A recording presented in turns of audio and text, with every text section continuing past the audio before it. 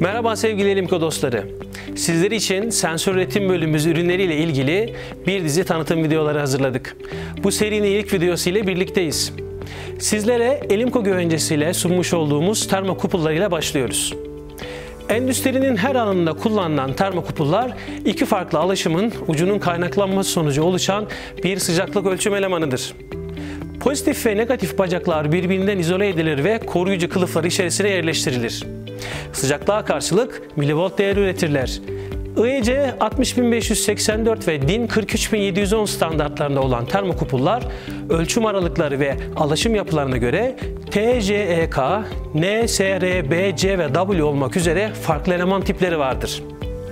Eleman tellerinin mekanik darbelere, fiziksel ve kimyasal aşınmalara karşı korumak için çeşitli koruyucu kılıflar içerisine yerleştirilir ve koruyucu kılıflar termokupul ömrünü direkt etkilediği için proses şartlarına göre dikkatli seçilmeleri gerekir.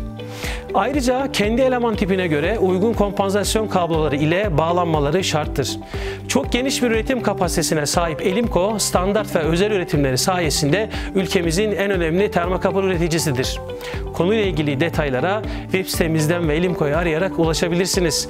İzlediğiniz için teşekkür ederiz. Bir sonraki teknik paylaşımda görüşmek üzere, hoşçakalın.